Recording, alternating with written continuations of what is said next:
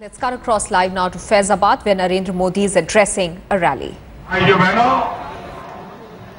एक कुर्सी का रोग पूरे देश को बांट गया है, बर्बाद कर गया है भाइयों बहनों, कांग्रेस पार्टी इसके लिए सबसे पहली गुनेगार है, दूसरी गुनेगार है की सरकार। तीसरी गुनेगार है बहन जी की सरकार। ये कैसे लोग हैं? आपके लिए उन्होंने क्या किया? इसका तो जवाब ही नहीं दे रहे। सपा वाले सरकार में आते हैं तो बसपा वालों का हिसाब पूरा करते हैं। बसपा वाले सरकार में आते हैं तो सपा वालों का हिसाब पूरा करते हैं। और कांग्रेस वाले हर समय पर्दे के पीछे मलाई खाते रहते हैं।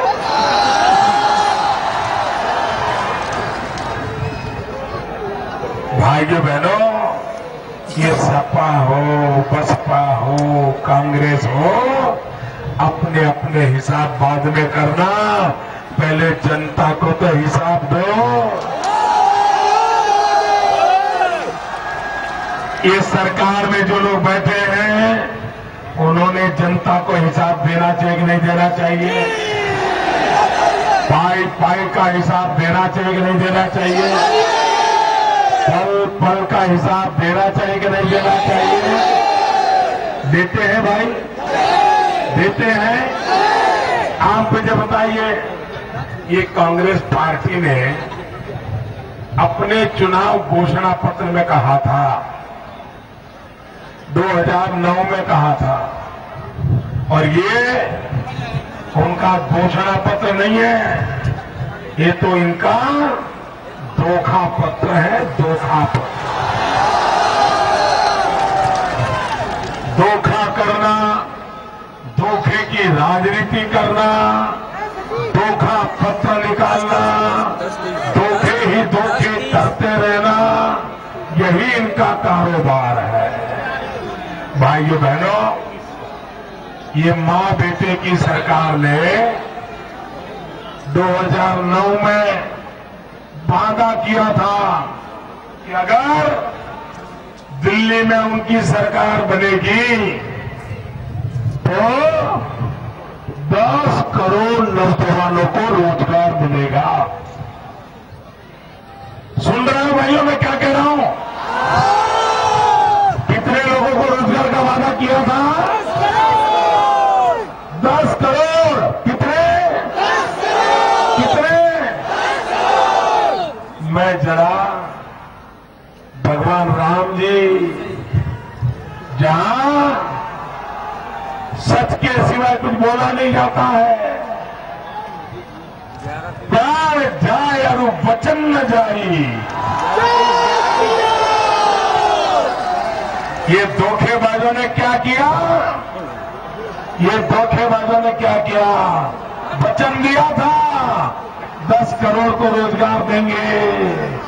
यहाँ कोई है जिसको माँ बेटे की सरकार ने रोज़गार दिया हो? कोई है जिसको दिल्ली ने रोज़गार दिया हो? आपके गाँव में कोई है? आपके परिवार में है? आपकी बिरादरी में है? ये वचन भंग किया कि नहीं किया। क्या राम जी की भूमि में वचन भंग को माफ़ किया जाता है? राम जी की परंपरा में वचन को तोड़ा जाता है? अरे भाइयों बहनों, जब अटल बिहारी वाजपेयी की सरकार थी, जब अटल बिहारी वाजपेयी की सरकार थी, छह साल सरकार रही। छह साल में साढ़े छह करोड़ नौजवानों को रोज़गार मिला। और ये माँ बेटे की सरकार दस साल से बैठी है, दस साल से, दस साल में सिर्फ़ डेढ़ करोड़ लोगों को रोज़गार दिया। ये आपके साथ धोखा है नहीं है? आपसे वादा तोड़ा कि नहीं तोड़ा? कि नहीं किया। जिन्होंने वादा तोड़ा, उनसे नाता तोड़ोगे। नाता तोड़ोगे। भाई बहनों, ये सपा, ये बसपा, ये कांग्रेस, ये अलग अलग है क्या? आप क्या मानते हैं? ये अलग अलग है क्या? जरा मुझे जवाब अलग अलग है क्या? एक ही चप्पे पट्टे के लोग हैं ना? कि दिल्ली की सरकार को कौन बचाता है भाई? ये माँ बेटे की सरकार को कौन बचाता है? मुझे बताइए कौन बचाता है? बहन जी को सीबीआई से कौन बचाता है? नेताजी को सीबीआई से कौन बचाता है? तुम मेरी संभालो, मैं तुम्हारी संभालूँगा। दोनों भाइयों, बहनों ये लखनऊ में कुश्ती करते हैं। ये लखनऊ में कुश्ती का नाटक करते हैं। दिल्ली में जाकर के दोस्ती करते हैं। आपको बंदूक के लाइसेंस क्यों लेने पड़ते हैं? मुझे कोई बताए भाई? माँ बीमार है। वो दवाई नहीं लाता है। पिताजी बीमार है ऑपरेशन नहीं कराता है लेकिन बंदूक खरीद ले जाता है। क्यों भाई? ये क्या हाल करके रखा है? बच्चों को पढ़ने के लिए फ़ी नहीं देता लेकिन बंदूक लेके आता है क्यों? उसको असलामती लगती है सुरक्षा नहीं लगती है डर लगता है। क्या भाइयों बहनों ये भय का साम्राज्य समाप्त होना चाहिए कि नहीं होना चाहिए? ये बन बंधन बंदूक पिस्टल का कारोबार खत्म होना चाहिए कि नहीं होना चाहिए? मैं ये बाप बेटे की सरकार को पूछना चाहता हूँ, ये सामान्य मांगने को सुरक्षा दो। ये गुंडागिर्दी बंद करो। आए दिन, भाइयों बहनों, एक साल में पाँच हज़ार लोगों की हत्या हो गई। कहाँ जाएगा गरीब आदमी? कहाँ जाएगा निर्दोष आदमी? कौन बचाएगा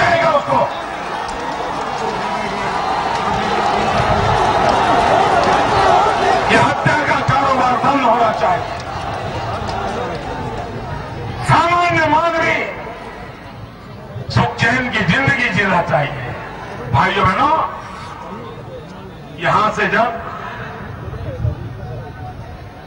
यहाँ से जब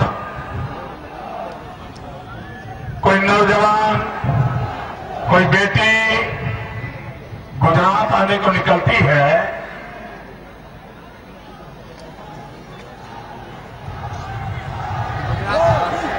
गुजरात जाने को निकलते हैं तो निकलते समय माँ को बड़ी चिंता रहती है माँ, बेटा बेटी जब जाते हैं तो सलाह देती है कि देखो बेटा, ट्रेन में सो मत जाना।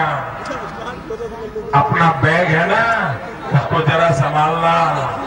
बेटा कोई कुछ खाने के लिए दे तो मत खाना। बेटा, चलती गाड़ी में मत उतरना। चलती गाड़ी में मत चढ़ना। माँ, सारी सूचनाएँ दे करके बेटे को ट्रेन में बिठाती है। और फिर आजकल तो मोबाइल फ़ोन है ना तो माँ फिर बीच में फ़ोन करती है। बेटा, गाड़ी कहाँ तक पहुँची? बेटा कहता है माँ सो जाओ ना। गाड़ी चल रही है, मैं जा रहा हूँ। मैं आराम से गुजरात पहुँच जाऊँगा। फिर भी माँ कहती है, ना बेटा, मुझे नींद नहीं आती है। गाड़ी कहाँ पहुँची, बताओ ना। रात भर माँ घर में जागती रहती है, बेटे को बार बार पूछती है कि बेटा, तेरी ट्रेन कहाँ पहुँची है? और जब बेटा कहता है कि माँ, अब बस पाँच मिनट के बाद ट्रेन गुजरात में एंटर कर जाएगी। पाँच मिनट के बाद ट्रेन गुजरात में एंटर कर जाएगी। तो माँ कहती है, ठीक है बेटा, अब सो जाती बेटा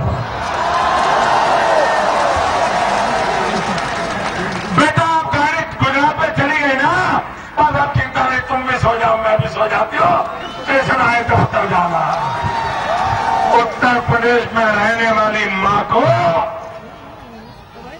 गुजरात गुजरात सुनते ही भरोसा हो जाता है, भरोसा।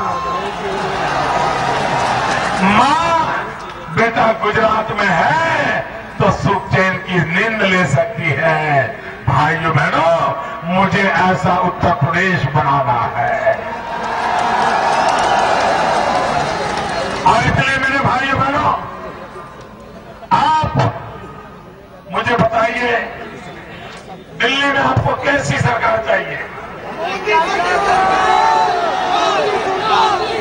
एक स्वर से चारों तरफ़ से आवाज़ आनी चाहिए। दिल्ली में कैसी सरकार चाहिए?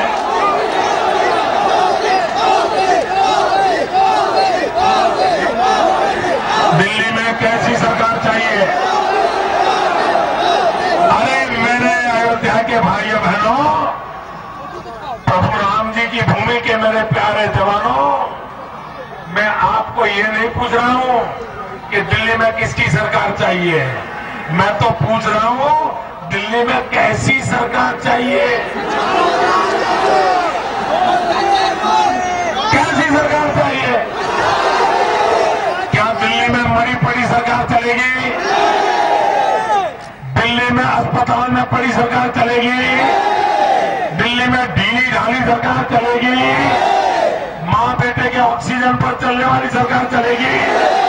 रिमोट कंट्रोल से चलने वाली सरकार चलेगी। दिल्ली में मज़बूत सरकार चाहिए कि नहीं चाहिए? मज़बूत सरकार चाहिए कि नहीं चाहिए? मज़बूत सरकार चाहिए कि नहीं चाहिए? अरे, आपके इलाके में कोई दरोगा भी अगर ढीला डाला हो तो आपको अच्छा लगता है क्या? पुलिस वाला भी है दम बम नहीं है। पसंद आता है क्या? आपको भी दरोगा दम वाला चाहिए कि नहीं चाहिए। चाहिए कि नहीं चाहिए। अरे बच्चा स्कूल जाता है और मास्टर जी में दम नहीं होता है ना। मास्टर जी ढीले ढाले होते हैं। तो बच्चा आकर के माँ को कहता है, मम्मी स्कूल नहीं जाऊँगा। मम्मी पूछती है, क्यों? बोले, टीचर में दम नहीं है। होता कि नहीं होता ऐसा अगर ढीला टीचर है। तो बच्चा स्कूल जाना पसंद करता है अरे, छोटे बच्चे को भी अच्छा टीचर लगता है। इलाके वालों को भी दम वाला दरोगा लगता है। तो सवा सौ करोड़ के देश को दम वाली सरकार चाहिए कि नहीं चाहिए चाहिए कि नहीं चाहिए? और इसलिए मेरे भाइयों बहनों, अब दिल्ली में मज़बूत सरकार बनानी है और दिल्ली में मज़बूत सरकार बनाने के लिए उत्तर प्रदेश से सारे के सारे कमल भेज दीजिए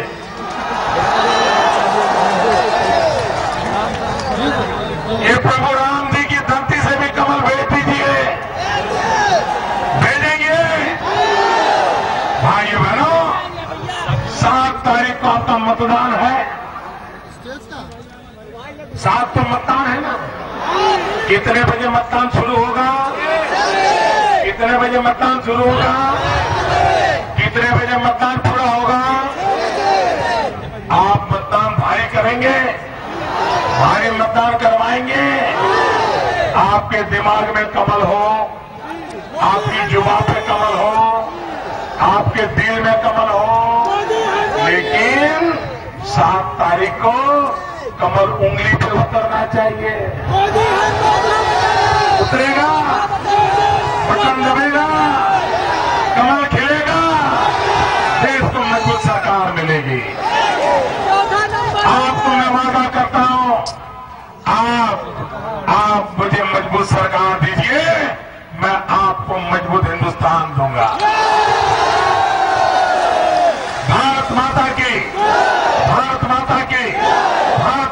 Kentucky.